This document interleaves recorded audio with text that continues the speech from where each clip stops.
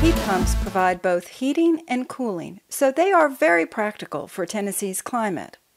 High efficiency heat pumps also dehumidify better than standard central air conditioners, resulting in less energy usage and more cooling comfort in summer months.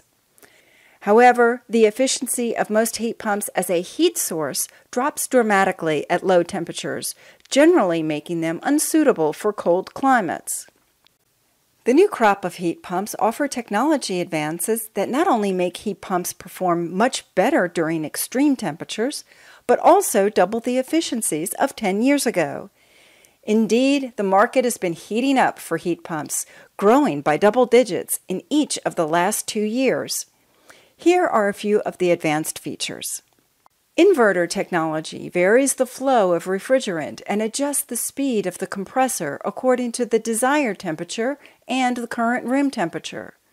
By eliminating the cycling on and off of the compressor, efficiency is increased and the temperature stays more steady.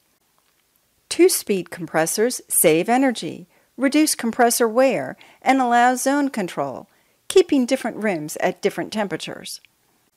Variable speed blowers allow the fans to keep the air moving, minimizing cold drafts, reducing noise from the blower, while also maximizing electrical savings. Scroll compressors. A scroll compressor consists of two spiral shaped scrolls. One remains stationary, while the other compresses the refrigerant. Compared to the typical piston compressors, scroll compressors have a longer operating life, are quieter, and provide 10 to 15 degrees warmer air. Rather than using electric resistance heaters as a backup heat source during extreme cold weather, some manufacturers now use a combustion fuel source such as propane, natural gas, oil, coal, or wood, thus reducing the use of electricity. Refrigerants. The new crop of heat pumps use the more environmentally friendly and less costly refrigerants. And new refrigerant formulations transfer, hold, and deliver heat more effectively. Plus, the copper tubing through which the refrigerant travels has grooves on it to increase surface area, which also boosts efficiency. Computer controlled motors and valves consume less electricity and provide more precise control of the refrigerant flow.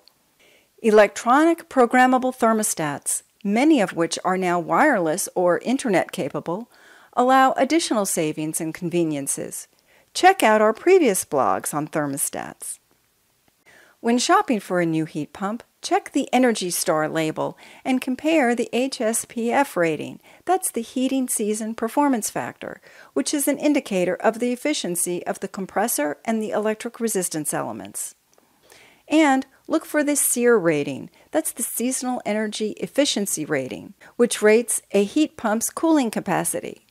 The HSPF rating should be between 8 and 10, and SEER should be greater than 14. In both cases, the higher the number, the more efficient the unit.